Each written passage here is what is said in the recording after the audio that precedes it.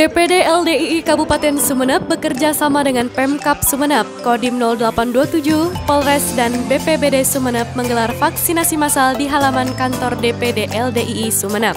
Hadir dalam kegiatan itu Wakil Bupati Sumeneb, Dewi Halifah, dan di 0827 Letkol Infantri Nurholis, Kapolres Sumeneb AKBP Rahman Wijaya, Kadinkes Agus Mulyono, dan Ketua FKUB Kiai Haji Mahfud Rahman.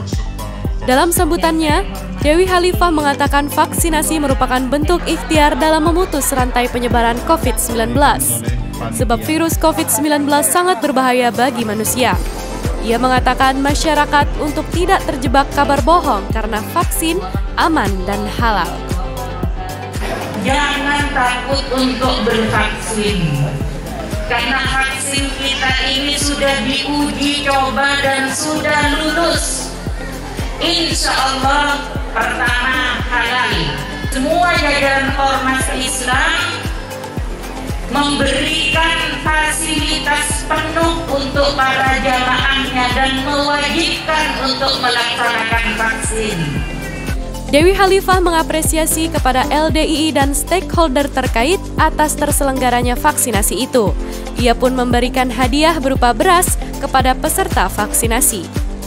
Dalam kesempatan yang sama, Ketua FKUB Kiai Haji Mahfud Rahman mengatakan menerapkan protokol kesehatan, vaksinasi, dan berdoa merupakan bentuk ikhtiar agar terhindar dari virus COVID-19.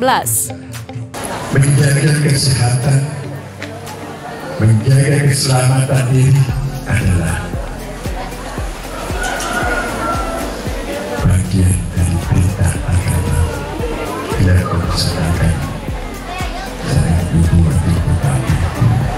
mematuhi peraturan pemerintah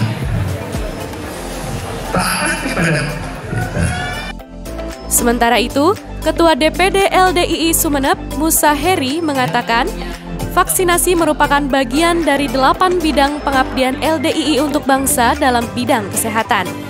Karena itu, LDII akan terus memantapkan langkah untuk membantu pemerintah sehingga target 70% yang menjadi standar nasional di Sumeneb bisa terpenuhi. Berdasarkan data, Kabupaten Sumeneb berada di peringkat 4 terendah se-Jawa Timur. LDII diminta untuk terus mengedukasi dan mensosialisasikan kepada masyarakat agar mau divaksin. Harapannya, standar nasional 70% herd immunity dapat terwujud di Sumeneb.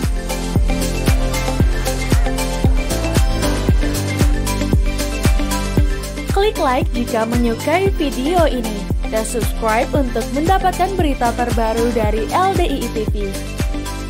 Alhamdulillahi jazakumullahu khairah telah menonton.